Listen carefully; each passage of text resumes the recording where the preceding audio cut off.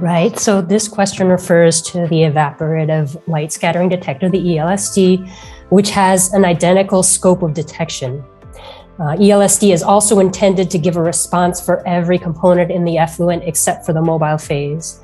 It also uses volatility to discriminate between solvent and analyte. We know that vaccine makers chose the CAD over the ELSD because the CAD has more sensitive detection. Um, Merck just published a paper in electrophoresis, really just seen the rough manuscript appear on their website on the analysis of lipid nanoparticles, where they say they tried both CAD and ELSD, but for this application, the CAD was six times more sensitive.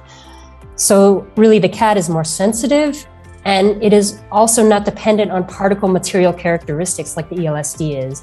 So, the signal of the ELSD depends on the structure of the material in the particle. So it depends on refractive index of the material and light absorption.